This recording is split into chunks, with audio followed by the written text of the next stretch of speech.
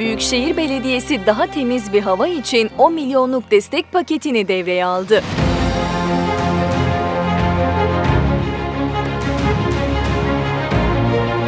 Çevre Şehircilik ve İklim Değişikliği Bakanlığı'nın hava kirliliğinin azaltılması amacıyla katı yakıttan doğal gaza geçiş süreciyle ilgili başlattığı hibe desteğinden Bursa Büyükşehir Belediyesi de yararlandı. Yaklaşık 10 milyon Türk lirası hibe alan Büyükşehir Belediyesi bu kaynağı konutlarda katı yakıttan doğal gaza geçiş için kullanacak. Proje kapsamında ekonomik nedenlerden dolayı doğalgaza geçemeyen Yıldırım ilçesi, Çelebi Mehmet ve Vakıf mahallelerindeki 150 haneye doğalgaza geçiş için destek verilecek.